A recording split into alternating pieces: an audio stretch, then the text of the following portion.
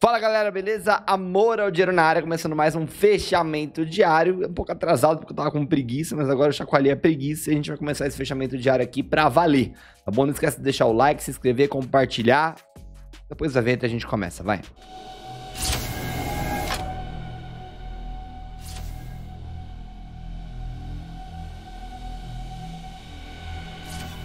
Bora lá então, mini índice na tela. Não esquece de me seguir lá no Instagram, o Pai Peter. Coloquei um TBT bacana lá nos stories. E também entrar no Telegram. Você acha minhas redes na descrição e no primeiro comentário tem os vídeos de hoje e outros vídeos importantes, tá?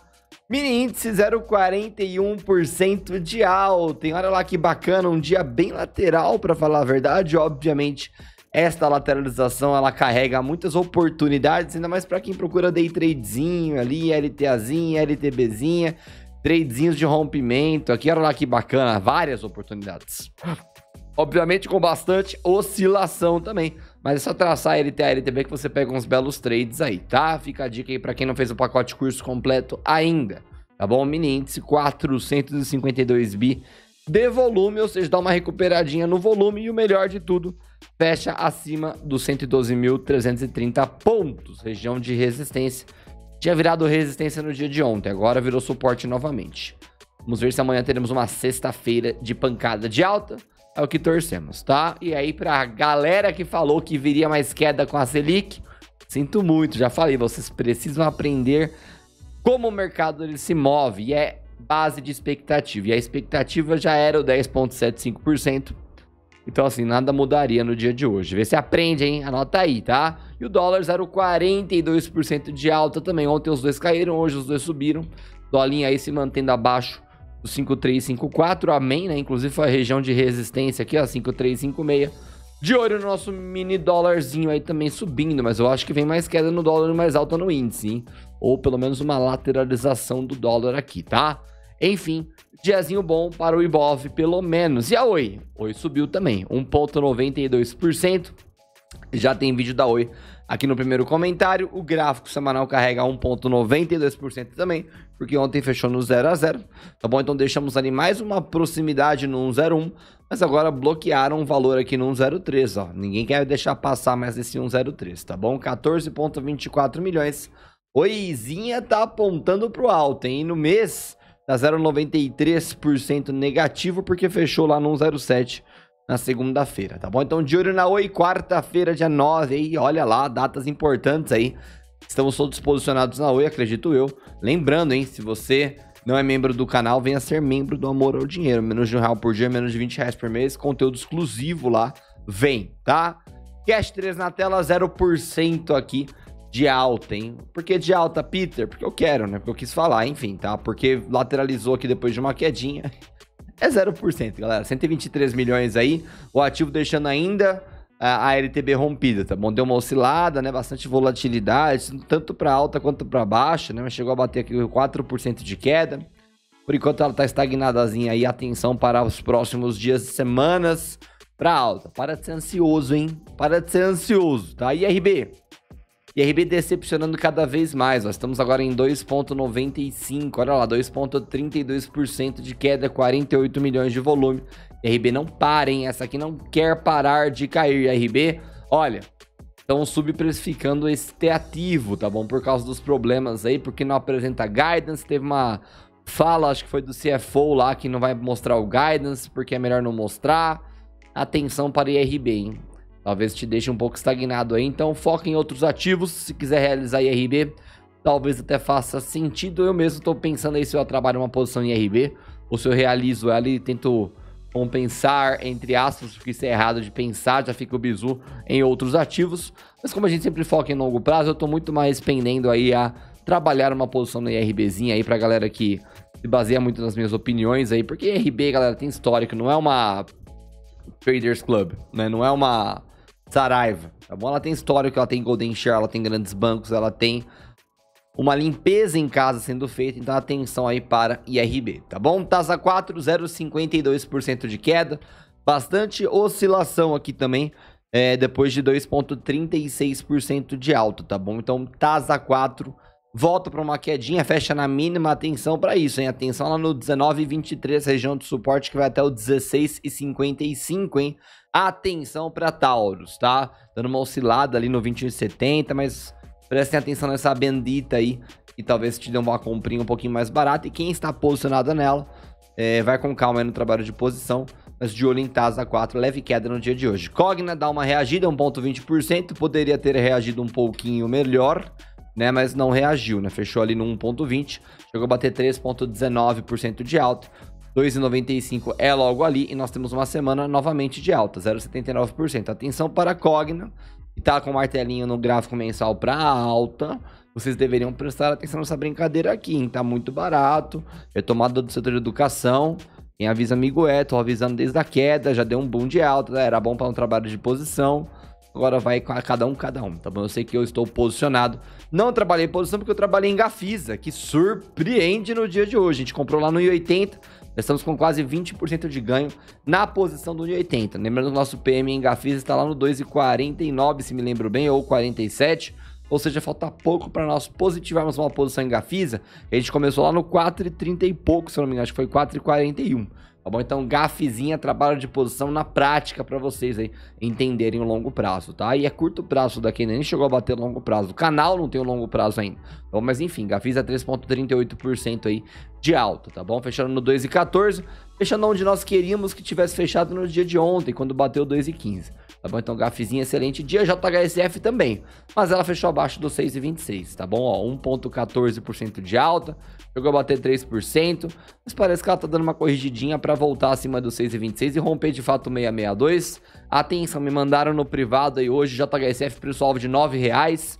Atenção, que eu acho que vem mais alto aqui nesse ativo, tá bom? Nós acompanhamos JHSF mais de perto lá na carteira de membros.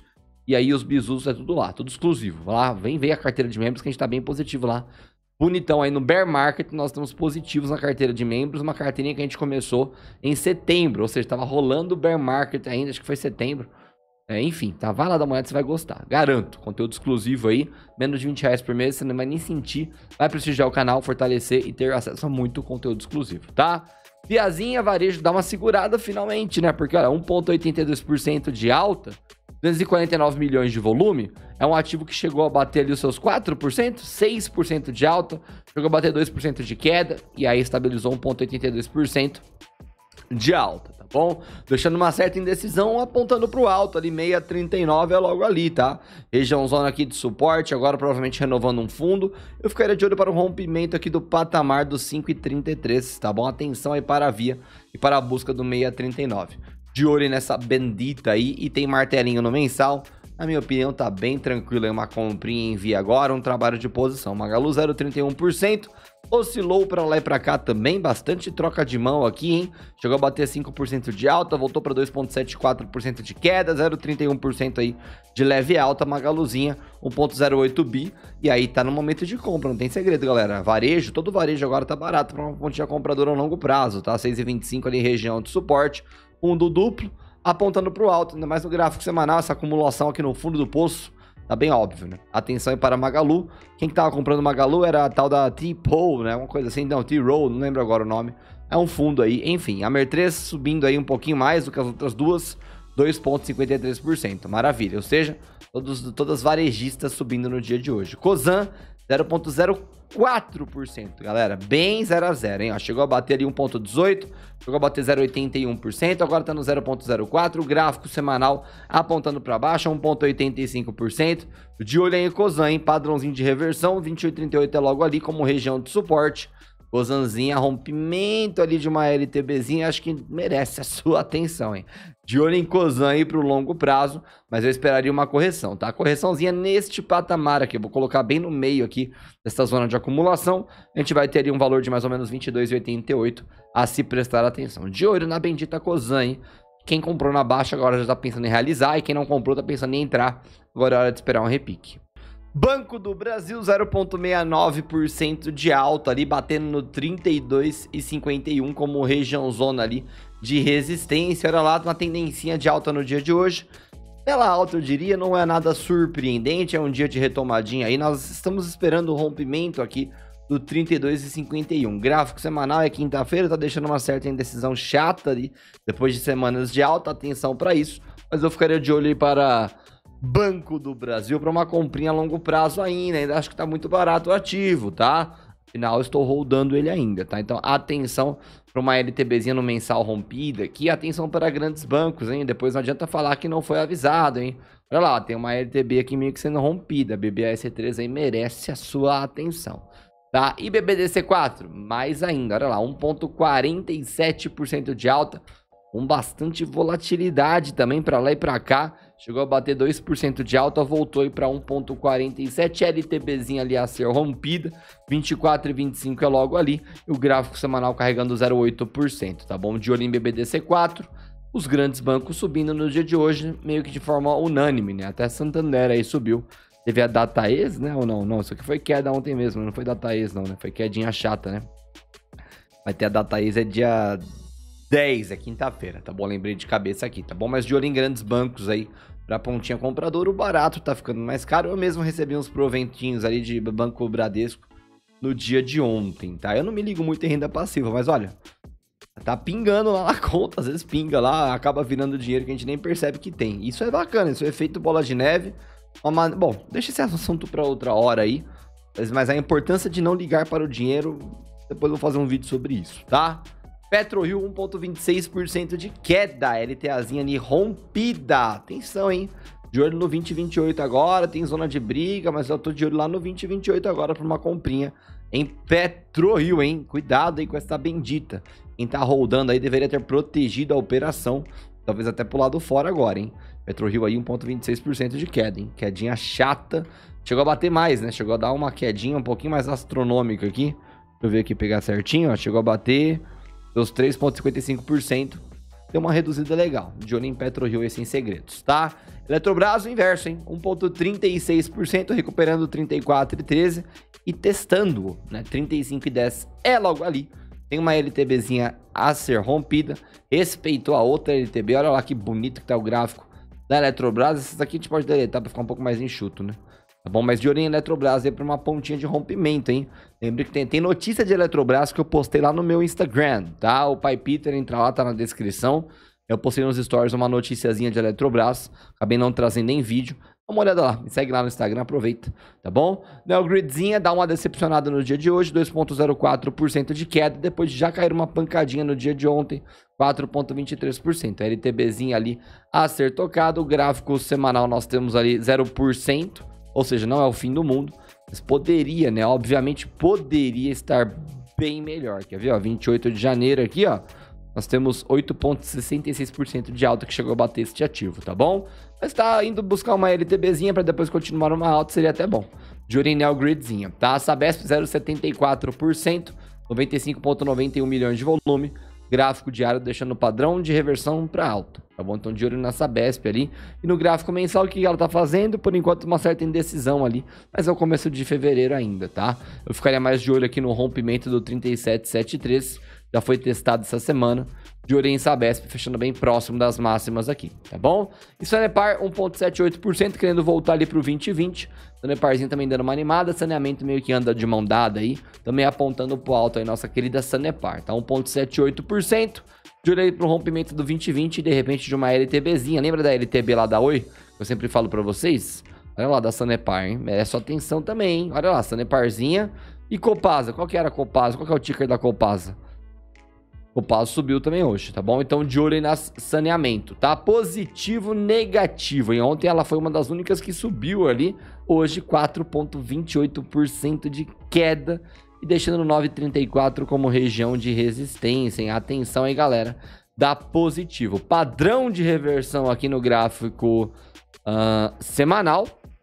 1,33%. E amanhã é a bendita da sexta-feira quinta-feira, tá bom? Então, de olho em Pose 3 aí, pra uma pancadinha de baixa que talvez chegue, tá? E aí eu ficaria de olho lá no 778 novamente, para uma ponta compradora, lógico que não é recomendação. Vale 3,0,05%, bastante vai para lá, vai para cá também, tá? Mas olha, respeitando 85 e 15, tá? Então eu ficaria de olho na Vale para uma pontinha de compra, de repente para ver um ativo dando um rally ali pro 8837 como ele já fez aqui anteriormente, ou até pro 90,99, 99. Jorem Vale estão com boas projeções de Vale, mercadinho tá olhando sempre bem para Vale, mas bom, não precisa nem falar, né? Quem acompanha o mercado um pouquinho mais de perto sabe. Há meses e meses que Vale e VEG são os top picks ali, sempre Vale, VEG, Vale, VEG. E fica fácil, né? Não troca o disco, né? Mas enfim. Embraer 4.35% de queda, onde é que nós fomos? 19,15, galera. Região de suporte, galera. Vai estudar gráfico, galera. Pacote curso completo tá na descrição. Pega e estuda esse bendito desse pacote curso completo e vai aprender gráfico na sua essência. Não tem segredo, galera. Tá? Atenção aí, tá? Olha lá, Embraer voltou para 19,15. Agora sim você começa a pensar numa compra. Mas se você for comprar agora, já bateu aqui no 19,15 várias vezes, tá? Agora você tem que se preocupar lá no 16,67, enfim, contexto, tá? Cuidado com o Embraer. É no suporte que se compra, mas observe o suporte, tá bom? 4,35% de queda. Gol 4, 1,01% de queda, chato, porque já tinha caído no dia de ontem. Deixa uma certa indecisão, né? Deu uma retomadinha ali para alta, beleza, né? Ó, chegou a bater 2,31% de queda, deu uma recuperadinha ali, 1% ali de, de queda apenas, tá bom? Enfim, tá? É, golzinho aí dando uma quedinha. As aéreas, imagino que Azul 4 também, também é 1,16%. Tá bom? Então agora é de olho nas aéreas para uma pontinha de compra mais barata, se você tiver interesse um trabalho de posição. Quem não tem aéreas em carteira, pense bem, tá bom? Eu acho que vem um boom de alta em breve das aéreas, uma retomada do preço de 2020 ali, 2021. Mas enfim, eu tô posicionado em Azul 4, veja qual faz mais sentido para você. Gol 4, Azul 4 é uma escolha pessoal isso, tá? Nunca uma recomendação. Beleza? A R3 na tela, 5,03%. Olha lá, desova no ativo, com 7,64 milhões de volume. E foi pancada, hein? Foi pancada atrás de pancada, só caiu, tá? 6,60 foi a região de resistência e bateu lá. E aí voltou a cair, tá bom? De olho em AR3, que de fato chega numa região de briga. Mas olha, foi uma pancada mesmo, hein? Cuidado aí, galera da AR3, pra ver se não vai tomar na tarraqueta, tá bom? A Arezinha deixando uma pancada de baixo. De olho na bendita aí e haja fé nas pás eólicas, hein? BMGB4, 1,27% de queda, 1,5 milhões de volume. Tem uma LTBzinha no semanal sendo testada, tá meio estranho. 3,17 ali também tá numa briga. De olho em BMGB4 aí pra uma pontinha compradora enquanto ela tá no fundo do poço, hein? É banco, é fintech, é digital, tá? De olho na BMGB4. Baixo volume e preço atraente ainda. Lojas Render 0,30% de alta. O varejo deu uma animada, mas bastante oscilação aí. Muitas ações aí com pancada de alta e pancada de baixa, depois estabilizando ali. Mas apenas 0,30% de alta. 187 milhões de volume. Nós temos uma loja Renner no gráfico semanal, 5,26% de queda. De olho na bendita das lojas Renner aí. Mais uma, que, uma queda, não, uma altinha de leve aí. Deixando um padrãozinho de reversão para alta aí bacana no gráfico diário. BIF3, 2,98% de queda, batemos lá no 8,81, finalmente, chegamos ali no suporte. Agora fechou gap, fechou tudo.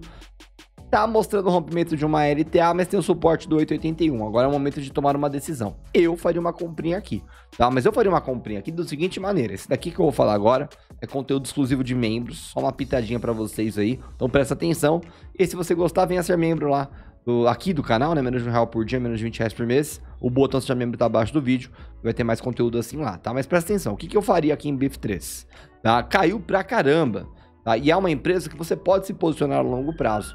Tá? Eu compraria uma posição não alavancada, como eu sempre falo, aqui no 8,80 agora neste fechamento, ou como já fechou, fica de olho para comprar em amanhã, tá? E eu deixaria essa compra sem alavancagem, entrando para longo prazo, mas de olho num boom de alta lá para o 9,62, uma retomadinha aí do ativo.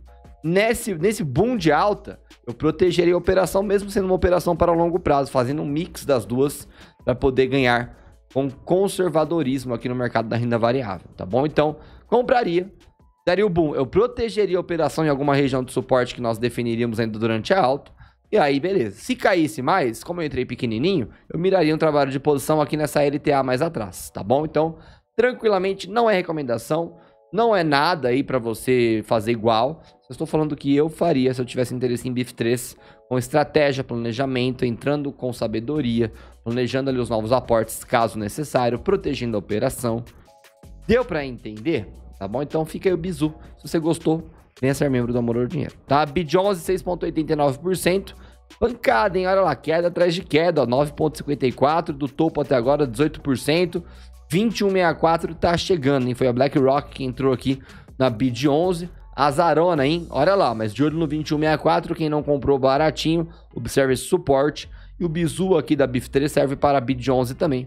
Eu acho que BID 11 vai entregar bastante percentual de alta para quem for paciente. Local Web também decepciona, rompe 905 ali como região de suporte, briga bastante neste patamar, mas afunda ali para perto das mínimas, né? O gráfico semanal fica chato. Ainda estamos enfrentando uma formação de gráfico semanal aí para talvez uma reversão. Então, por enquanto, só oscilação natural é dos ativos voláteis mesmo, que é BID 11, Local Web, enfim. Tips 3, 1% de alta, fechando acima do 202, tá deixando a gente sonhar, hein? Olha lá, ó. Gráfico da Tips 3. Se fechar amanhã acima do 202, eu já começo a sonhar aí com 258 e patamares acima, tá? De olho em Tips 3. Essa aqui também tem baixo volume. Essa aqui também é bombinha. Essa aqui pode entregar grandes ganhos aí para quem for paciente. Petrobras 1,38% de queda, 1,64 bi, deixando uma certa indecisão. Nós temos uma Petrobras positivando só no começo do dia, depois foi negativo total. 31,24 é região de suporte. Dá para prestar atenção nesse patamar aí, ficar de olho numa comprinha, mas eu compraria só lá no 28,82, 28,20 e mesmo assim compraria com calma. Eu não duvidaria que caísse mais um pouquinho. Porto Belo 4,99%, agora sim. Agora talvez uma comprinha ali no 8,47 ali, região de suporte, tá? Nós temos um gráfico semanal deixando uma pancadinha de baixa, ó, 5,62%, 10,12 é logo ali. Agora tá começando a motivar uma compra, hein? Na hora de que cai, você tem que pensar na compra, não na venda, tá? Então atenção no suporte, compre com calma, se você for comprar, não é recomendação, não se alavanque. Mas baita queda aí, hein? Motiva uma comprinha. Tinha S3, Telecom animando, hein? Deixa eu ver Vivid 3 antes. Também subindo, olha lá. 2,28%, 87,33 milhões. Nós temos uma Tinha S3 talvez se animando junto com o Vivid 3 por causa do imóvel, dia 9 agora, no CAD. 13,83 região de resistência. Nossa Tinha S3 deixou uma semaninha de 3,46%. Não foi falta de aviso, hein? 12,63 era a região ali de suporte. Muito bem. Quem pegou, pegou. Quem não pegou, beijo no ombro. B3SA3, 0,07% aí de alta, tá bom? 345 milhões de volume, deixou uma pancadinha de alta de 1,6%, caiu 0,83 por ali, tá brigando abaixo do 14,42, mas nós imaginamos uma retomada de alta logo logo, um desrompimento aí para alta. De olho na nossa bendita B3SA3, que já surgiu das cinzas, aqui já deu um boom de alta, deixa a bendita acumular, vai dar mais um boom de alta.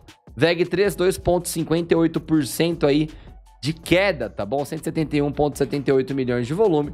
Nós temos uma semaninha aqui, ó, de 2,12%, tá? Ó, lá do 30 a 21 até o 31 e 25, região de acumulação, e ela voltou para este patamar. De olho em aí, correções animam pontas de compra, ainda mais esse gráfico semanal aqui, com essa LT asaça aqui, para segurar o ativo para um novo boom de alta. De olho em VEG3. CVCB3, 2,08% de alta, 15,54 é logo ali. Nós temos uma semaninha aqui da CVCB3 positivando graças a hoje, 0,44%. Tá bom? E aí, 111 milhões de volume, 2,08 deixa padrãozinho de reversão para alta. Eu ficaria de olho em CVCB3 para uma busca ali no 15,54. PETS 3, 0,45% de queda mas ainda respeitando incrivelmente o 17,44. Para falar a verdade, a mínima foi 17,49. No dia de ontem foi 17,47, tá bom? Então, de olho em PETS 3, pode ser um acúmulo aí para uma nova comprinha, para nova alta do ativo, para o rompimento confirmado daqui a pouco da LTB. Atenção na LTB da PETS 3, tá? E aí, Home 3, 3,61%, não gostaram do balanço, aparentemente. 15,01 é logo ali. 17,24 foi resistência ali na terça e na quarta. Jurei para uma sexta-feira, mas fica feio essa semana da Home 3, devolve todo o ânimo que ela criou anteriormente. Beleza? Então é isso, galera. Fechamento geral ficando por aqui. Fique de olho nos próximos vídeos. Vídeos no primeiro comentário. Mini índice positivo, dólar positivo. Como vocês, vire membro do canal, me siga lá no Instagram, Pai Peter, etc e tal. Partiu.